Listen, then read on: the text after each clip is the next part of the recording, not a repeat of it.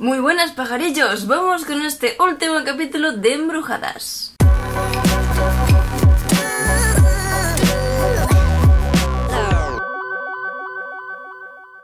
Decidme en comentarios qué os ha parecido este capítulo porque a mí personalmente me ha dado la sensación de que ha sido un poco de transición ya que ni han avanzado ni han retrocedido nada realmente. Lo que sí me ha gustado ha sido el tema de lo que hemos visto de Abigail, pero primero tengo que hacer la advertencia que siempre hago antes de comenzar a analizar con spoilers estos capítulos y es que si no has visto el capítulo vete a verlo antes de seguir con el vídeo porque vamos a ver poco a poco que ha ido pasando.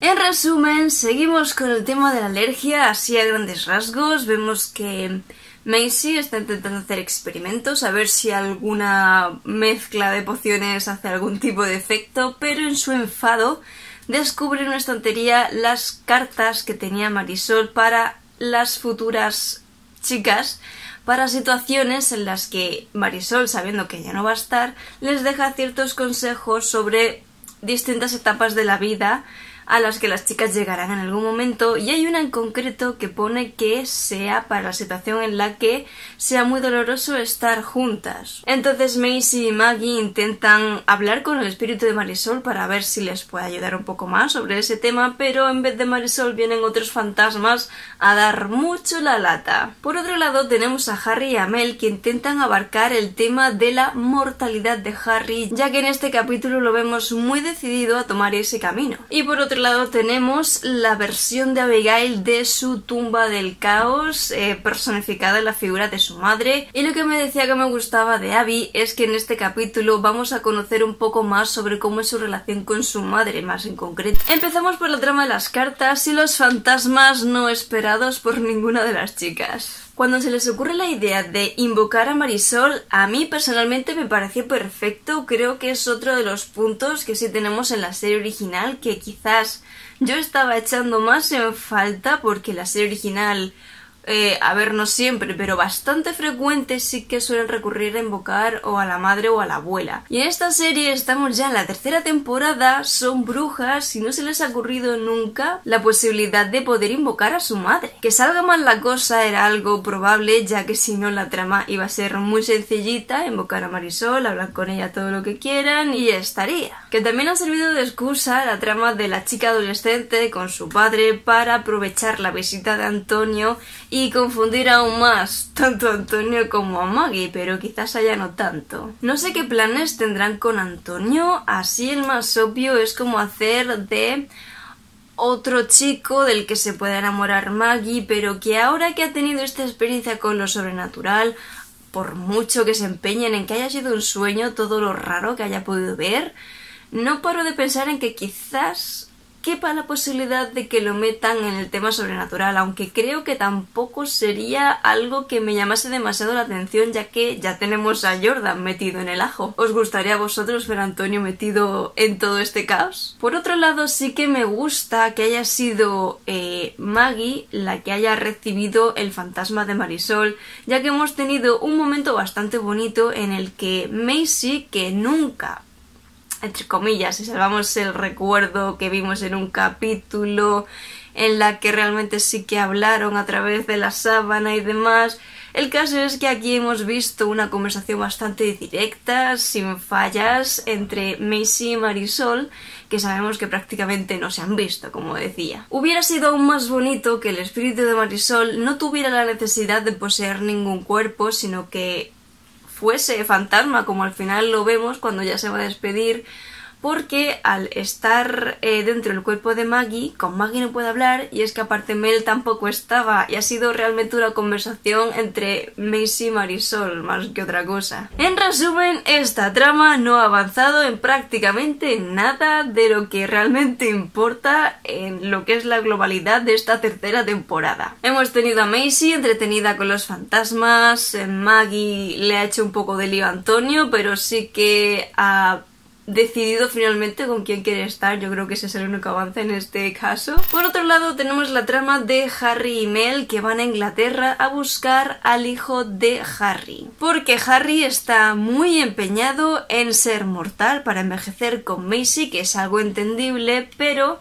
las cosas no son tan fáciles como a él le gustaría. Uno de los perfectos le comenta a Harry un método para conseguir esa mortalidad que tanto ansía, método que no me acaba de quedar muy claro cómo sería en el caso de llegar a realizarse, que al final no hemos visto eso en el capítulo. Yo lo que he entendido de esta metodología es que necesita el alma de un descendiente varón no sé si para reemplazar a la de Harry y por consiguiente ese varón descendiente eh, muera, quizás, que no creo que fuera así porque Harry no es tonto. Entonces otra posibilidad sería simplemente un intercambio de almas, una inmortal por otra mortal. De modo que este descendiente quizás se volvería inmortal. No sé a vosotros cómo, cómo habéis entendido vosotros este mecanismo, porque como no lo hemos visto, pues tampoco sabemos cómo hubiera sido. Lo interesante de esta trama, al final de todo el jaleo que tienen con Georgie, el descendiente varón vivo, es que Harry ha podido conocer alguna faceta más de su vida mortal, ¿no? La que tenía antes de ser luz blanca. Y de algún modo toda esta experiencia le ha dado fuerzas tanto a Harry como a Mel de querer seguir con sus respectivas parejas con más fuerza, a pesar del tema de la alergia que mantiene a ambos separados. Pero entre vosotros y yo vamos a hablar del tema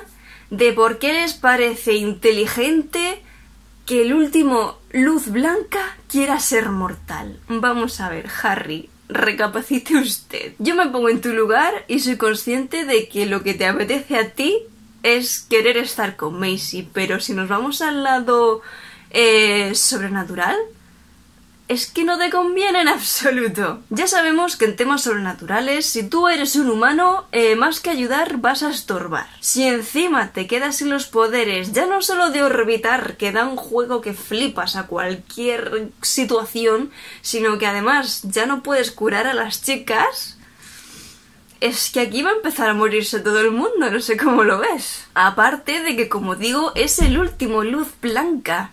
Yo no sé eh, cómo de importante es la presencia de estos seres aquí en esta serie, pero sinceramente yo buscaría un método de buscar a nuevos candidatos para ser luces blancas. No sé cómo es el proceso en esta serie, pero sinceramente hay muchas más brujas que necesitan protección. ¿Por qué no os enfocáis un poco más en los demás de vez en cuando? Y ya por último, la trama de Abby y su prisión personalizada en la tumba del caos. Ya vimos a las chicas anteriormente en un capítulo atrapadas en, en una de las celdas, ¿no? Y lo que tenían que hacer era buscar cosas que no estuvieran bien, o sea, que no coincidan o que no tuvieran sentido en su vida normal. Porque lo que creo que hace la tumba del caos es acomodar su visión de cómo sería una vida cómoda, placentera para que el huésped más bien prisionero no sienta la necesidad de escaparse. En el caso de las chicas, al estar juntas, pues quieras que no, algunas se tenían que dar cuenta de que algo iba mal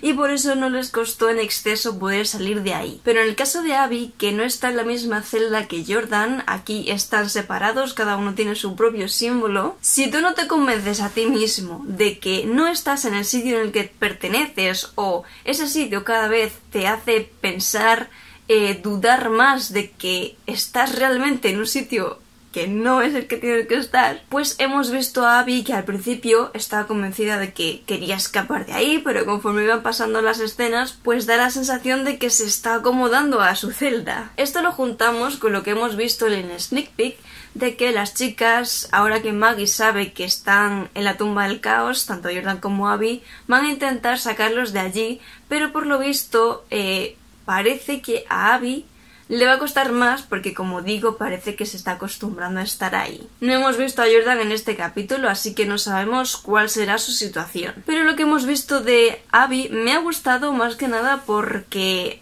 ha avanzado, al menos a nosotros, nos ha hecho ver un poco más de su vida eh, de su relación con su familia, su madre más en concreto, por qué se separaron, por qué le tiene un odio a muerte, y con este tipo de cosas hacen que el espectador se ponga un poco más del lado del personaje, que la comprenda mejor. Y bueno chicos, pues hasta aquí esta review de este capítulo, la semana que viene tendremos el próximo, así que dejadme en comentarios qué os ha parecido este capítulo, estáis de acuerdo con mis impresiones, pensáis cualquier cosa distinta, dejádmelo saber.